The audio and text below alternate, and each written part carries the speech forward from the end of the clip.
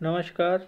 आज के इस वीडियो में हम बात करेंगे, उत्तर प्रदेश लोक सेवा आयोग द्वारा निकाली गई राजकीय इंटर कॉलेज लेक्चरर की भर्ती के बारे में।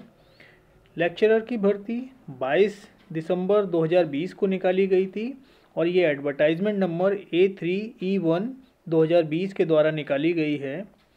इसमें फॉर्म भरने की जो शुरुआत हुई, वो 22 दिसंबर से ही शुरू हो गया फॉर्म भरना। ऑनलाइन फ़ीस भरने की आखिरी तिथि है 18 जनवरी। फॉर्म जमा करने की आखिरी तिथि है 22 जनवरी। तो आप उससे पहले अपना फॉर्म वेबसाइट पर जाकर भर सकते हैं। इसकी जो फ़ीस है वो unreserved category E W S category और ओ बी सी कैटेगरी में टोटल एक सौ पच्चीस रुपये इसकी फ़ीस है। S C S T category में फ़ीस पैंसठ रुपये की है sixty five rupees handicap category में ट्वेंटी फाइव रुपीज़ फ़ीस है और एक्स सर्विस मैन में सिक्सटी फाइव फ़ीस है।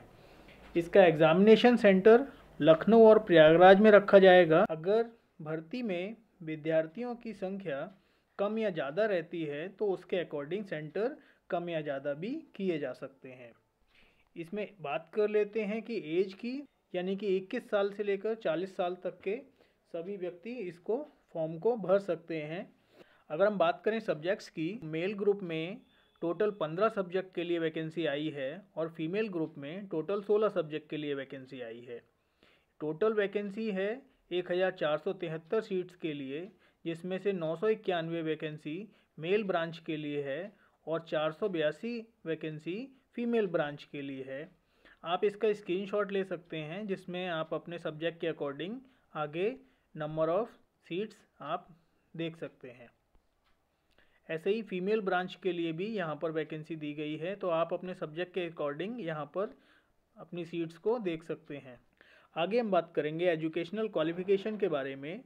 तो जिन छात्रों ने पोस्ट ग्रेजुएशन किया है, यानी कि एम एम एस सी उत्तीर्ण हैं, वो अपने अपने सब्जेक्ट्स में अप्लाई कर सकते हैं। तो यहाँ पर पद के आगे शैक्षिक अनिवार्यता लिखी हुई है तो आप अपनी शैक्षिक अनिवार्यता के अकॉर्डिंग आप इस चीज़ को देख सकते हैं।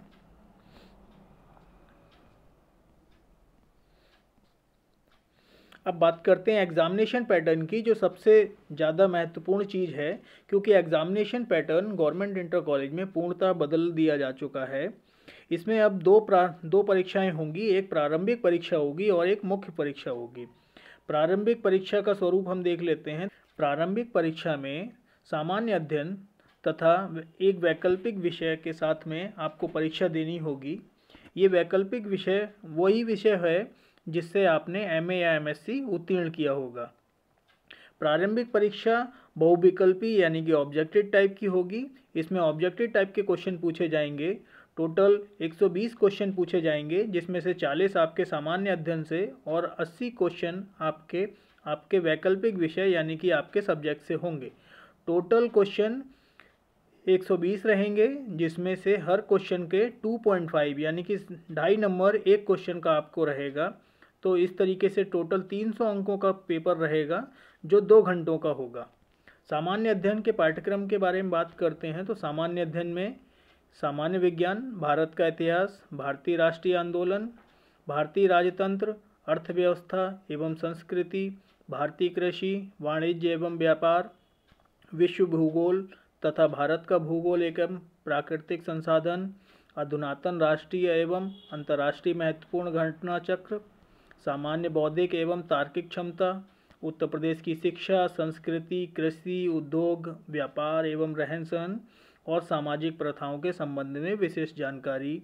प्रारंभिक गणित भी रहेगी, जो आठवीं के स्तर की रहेगी। इसमें अंक गणित बीज गणित और रेखा गणित रहेगी। पारिस्थितिकी तथा पर्यावरण। वैकल्पिक विषय जो होगा, वो आपका मुख्य परीक्षा का जो पाठ्यक्रम रहेगा, आपके वैकल्पिक विषय का, आपकी प्रारंभिक परीक्षा में भी वही पाठ्यक्रम मुख्य विषय का रहेगा। अब हम एक बार प्री एग्ज़ाम के फिर से एक बार नज़र डाल लेते हैं। तो इसमें एक ही पेपर है प्री एग्ज़ाम में, आपको दो घंटे में वो पेपर सॉल्व करना होगा। जिसमें पार्ट वन में जनरल स्टडीज़ यानी जीएस रहेगा, जो 40 क्वेश्चन रहेंगे 100 नंबर के। पार्ट टू में आपका ऑप्शनल सब्जेक्ट यानी कि जो आपका सब्जेक्ट होगा, वही रहेगा। टोटल 80 क्वेश्चन आएँगे, जो आपको 200 नंबर के होंगे।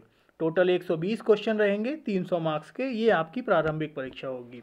प्रारंभिक परीक्षा में पास होने पर ही आपको मुख्य परीक्षा के लिए फॉर्म भरना होगा। उसके बाद में आपको मुख्य परीक्षा देनी होगी। अब हम बात कर लेते हैं मुख्य परीक्षा के पाठ्यक्रम के बारे में। तो मुख्य परीक्षा जो है, उसमें दो प्रश्न पत्र रहेंगे, यानी कि दो पेपर होंगे। पहला पेपर सामान्य हिंदी और निबंध का होगा, जिसके लिए दो घंटा निर्धारित है और सौ अंक इसके लिए निर्धारित हैं।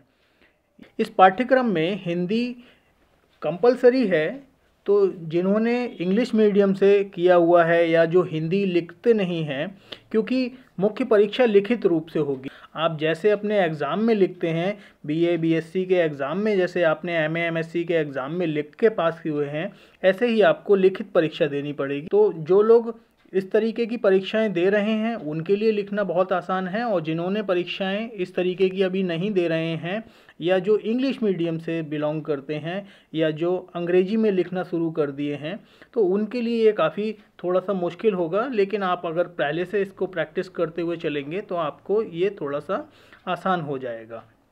वैकल्पिक विषय भी जो आपका होगा, उसको भी आपको लिखित परीक्षा उसकी भी देनी पड़ेगी, जिसके लिए तीन घंटा समय निर्धारित है और जिसके तीन सौ अंक हैं।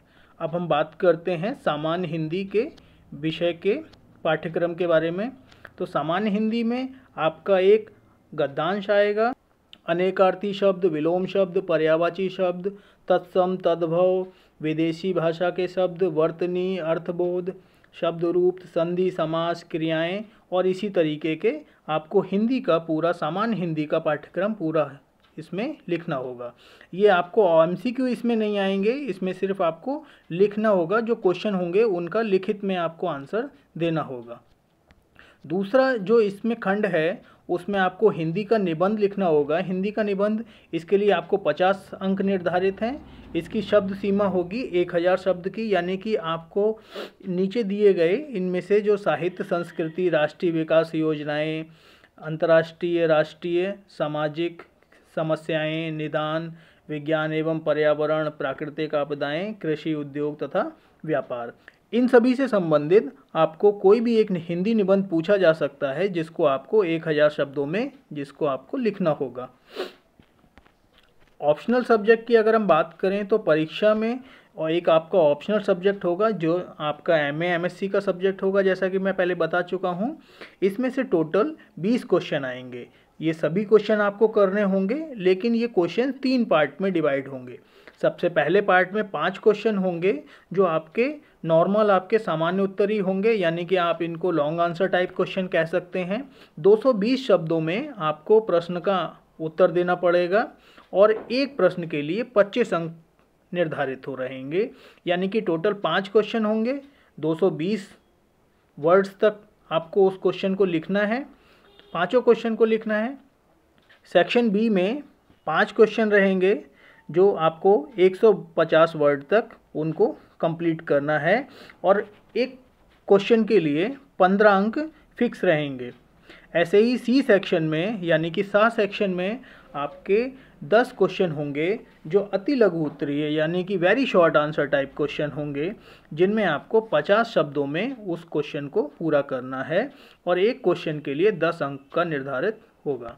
अगर इसको हम विस्तार से समझें तो मेन एग्ज़ाम का पैटर्न यहाँ पर मैंने इसको बना के रखा हुआ है। इसमें आपके पेपर्स लिखे हुए हैं।